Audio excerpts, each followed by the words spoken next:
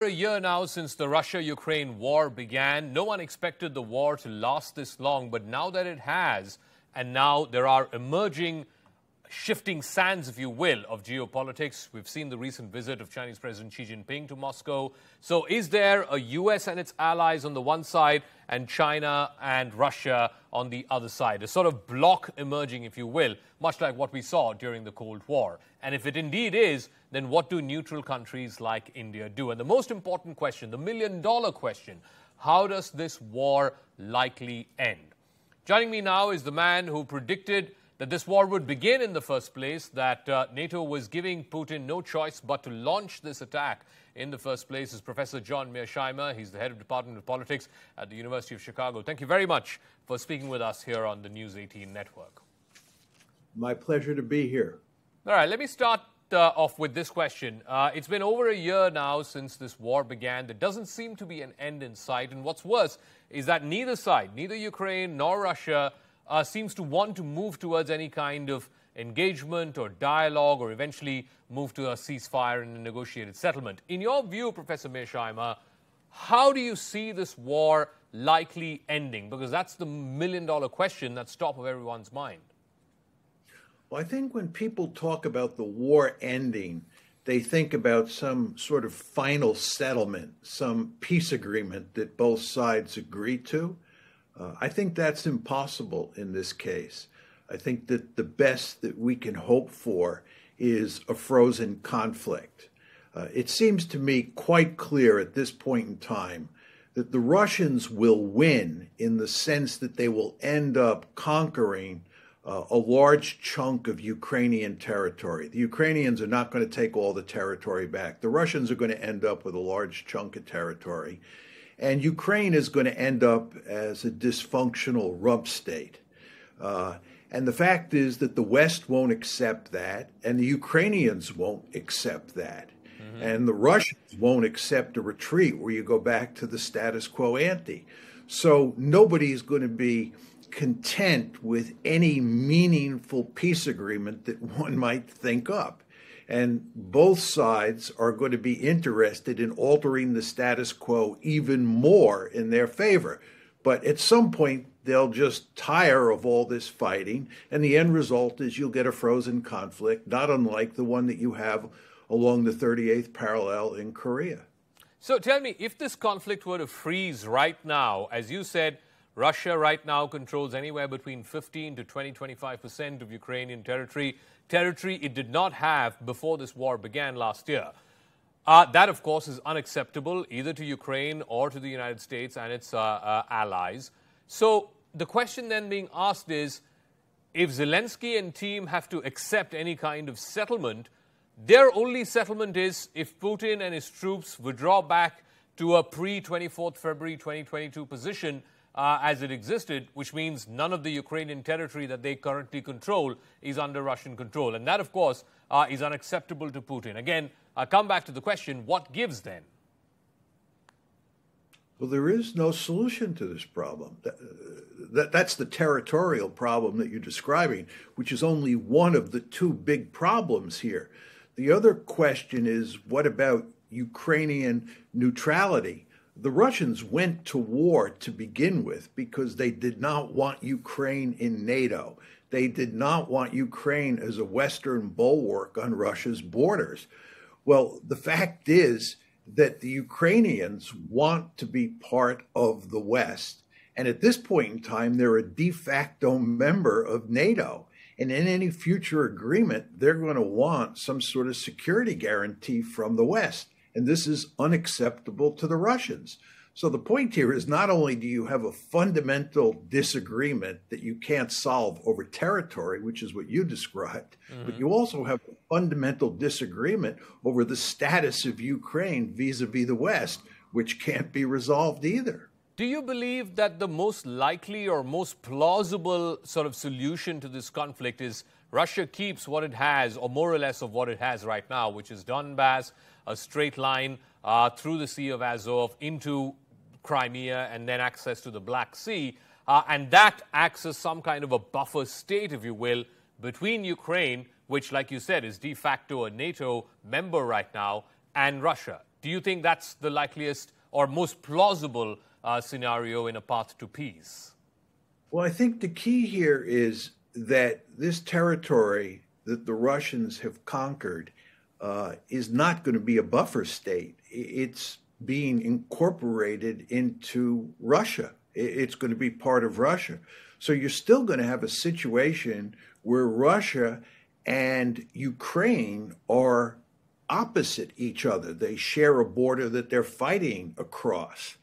And there's nothing I see that's going to change that. There's not going to be any buffer state here. Mm-hmm. And given that there's no territorial settlement, you're not going to get a peace agreement. So, as I said before, I think the best you could hope for is a frozen conflict. And that frozen conflict, by the way, is likely to turn into a hot conflict uh, at points down the road. Uh, okay. You do not underestimate what a disastrous situation uh, we are now facing uh, in Ukraine. This is a major conflict that has no solution what, and has ripple effects all over the world. What, what do you make? What, what, what is your take on Vladimir Putin announcing that he intends to place uh, tactical nuclear weapons in Belarus? Uh, do you think that this is a threat, or is it more than that? Should the West take him seriously? Do you believe that he's trying to use Belarus as some kind of a launching pad, if you will, for a potential nuclear attack if things were to go south on the battlefield for him?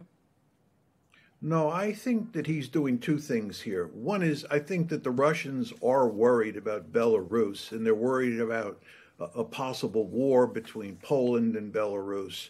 Uh, and they're putting nuclear weapons in there into Belarus to make it clear uh, that they believe that uh, a deterrent strategy is absolutely essential from Russia's point of view. And then the second thing I believe they're doing is they're just sending a very subtle message to the West that nuclear weapons remain on the table. Uh, and if the West pushes too hard, the Russians uh, might very well use nuclear weapons. The Russians have a deep seated interest in using the threat of nuclear war as a way of limiting what the West can do. It's very clear that the Biden administration and European leaders understand they can only push the Russians so far because the Russians have nuclear weapons. And this move just reminds Western leaders once again that Russia has mm-hmm. nuclear mm-hmm. weapons and it might seriously contemplate using them if necessary. All right. I want to talk a little bit about uh, what Prime Minister Modi said at the SCO summit to Mr. Putin uh, saying that this is not the era of war, it's an era of, uh, of peace. Uh, the Indian economy has turned out to be a bright spot amidst all the global uncertainties that we're seeing. Uh, considering the fact that India shares a decades old relationship with Russia and has continued to buy oil, uh, in fact, substantially much more oil today than before when the war began.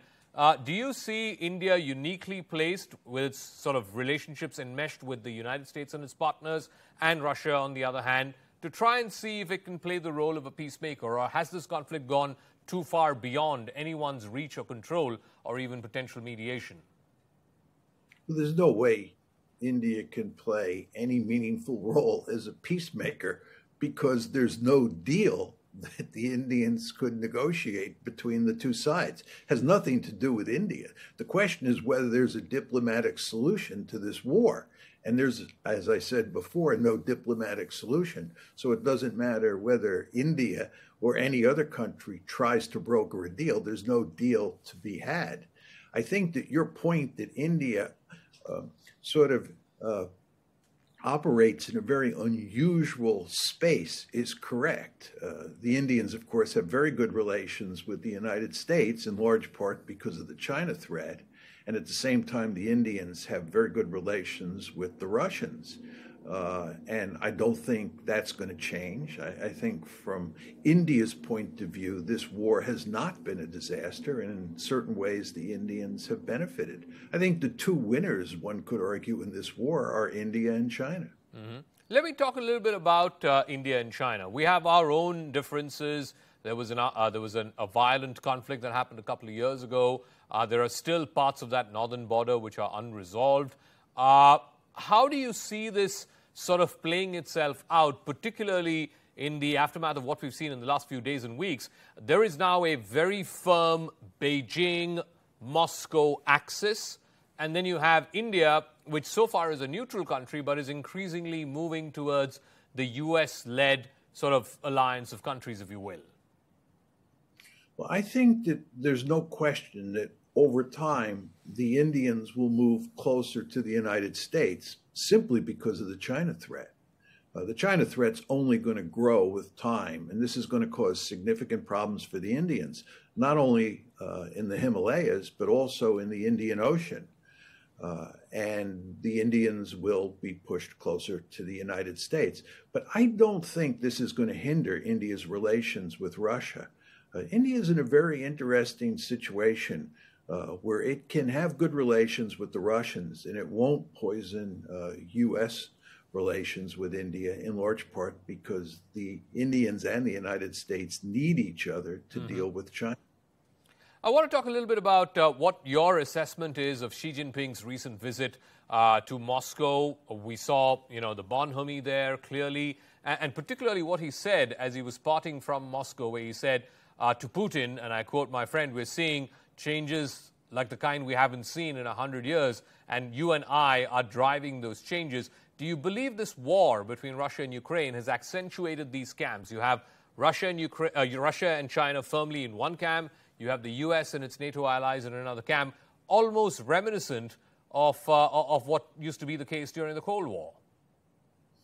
Yeah, I think there's no question what this war has done is to drive the Chinese and the Russians closer together uh, and it's also bogged the United States down in a war in Eastern Europe. What the United States should be doing now is pivoting full force to East Asia to deal with the China threat, number one. And number two, it should have good relations with the Russians.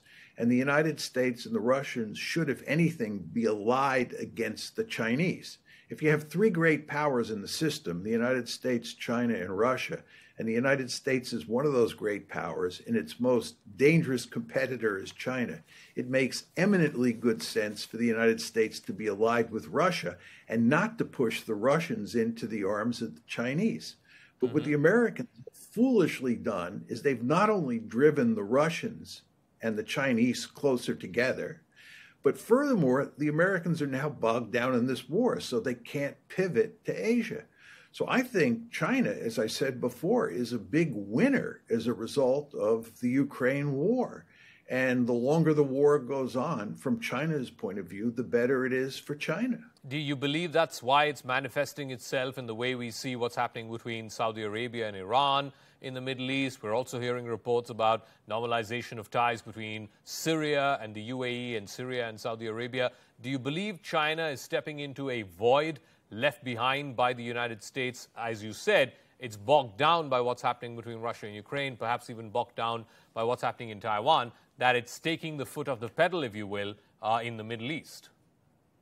I'd put it in slightly different terms. I agree with the thrust of what you say, but I think from an American point of view, it's worse than that.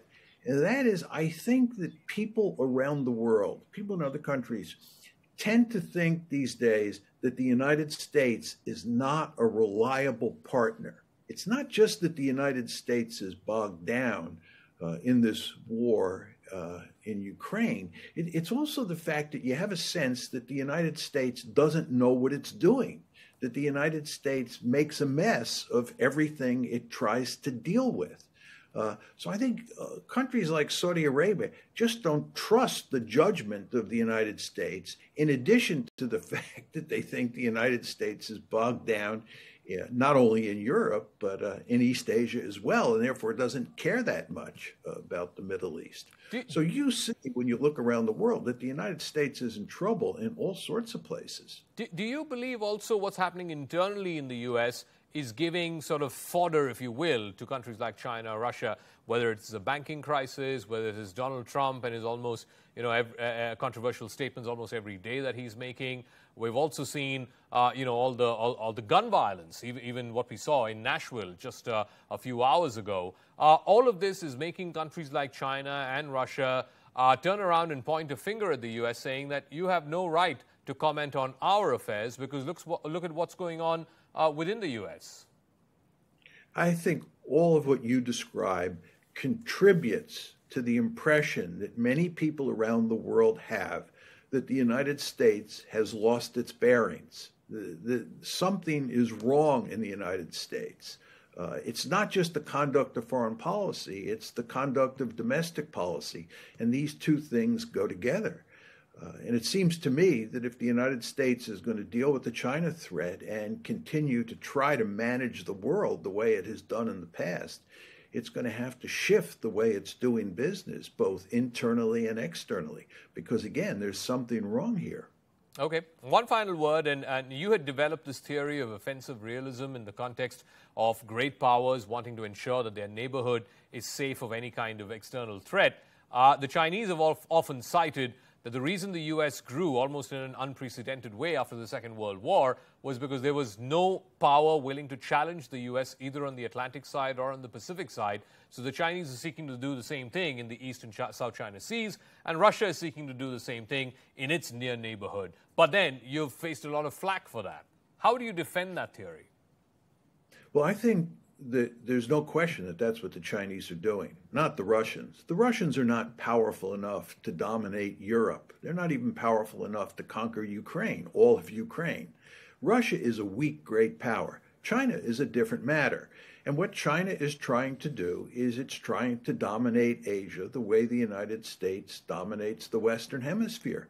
And I don't blame the Chinese one bit. If I was the national security advisor in China, I would be telling the Chinese leaders that what they should do is try to dominate Asia. They should try to make sure that China is by far the most powerful country in Asia and that China should go to great lengths to push the Americans out of East Asia. China should have its own Monroe Doctrine. Mm-hmm. Uh, I think this makes eminently good sense from China's point of view. From India's point of view and from America's point of view, this is not good news. You don't want to see, you meaning India, don't want to see China become a regional hegemon any more than the Americans do. All but right. again, China has a different set of incentives. All right, Professor John Mearsheimer, as always, a pleasure speaking with you, sir. Thank you very much for your time and your insights. You're welcome. All right, so the entire conversation with Professor John Mearsheimer going up uh, on news18.com, our website, as well as on the YouTube and Facebook pages of CNN News 18. Thanks for your time.